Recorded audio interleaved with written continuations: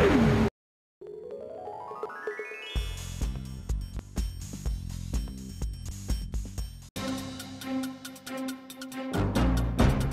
नोटबंदी से reserve bank पर पड़ेगा चौबीस हज़ार करोड़ का अतिरिक्त भार। नोटबंदी के बाद काले धन को बैंकों में जमा होने से रोकने में असफलता के चलते अब रिज़र्व बैंक को अतिरिक्त ब्याज के रूप में इसका खामियाजा उठाना होगा। लोगों की तिजोरियों में बंद नकदी अब बैंकों में जमा हो गई है, जिस पर उन्हें ब्याज भी मिलेगा। आरबीआई के पूर्व गवर्नर रघुराम राजन ने यह दिल्ली में अपनी पुस्तक के विमोचन से जुड़ी एक कार्यक्रम में यह दावा किया। हाल ही में उन्होंने भारतीय अर्थव्यवस्था तथा रिज़र्व बैंक के रूप में अपने अनुभवों पर आधारित एक पुस्तक आईडू लिखी है। माना जाता है, यूपीए सरकार के समय गवर्नर बने रघुराम राजन के मोदी सरकार से विभिन्न मदों पर अंतिम समय में गहरे मतभेद हो गए थे। उन्होंने मोदी सरकार द्वारा 500 तथा हज़ार रुपए के नोटों को बंद करने के फैसले का ज़िक्र करते हुए कहा कि रिज़र्व बैंक के आंकड़ों के अनुसार नोटबंदी के बाद निन्यानवे फ़ीसदी बड़े नोट बैंकों में वापस आ गए हैं। इसका मतलब है कि काला धन रखने वाले इस फैसले का फ़ायदा उठाते हुए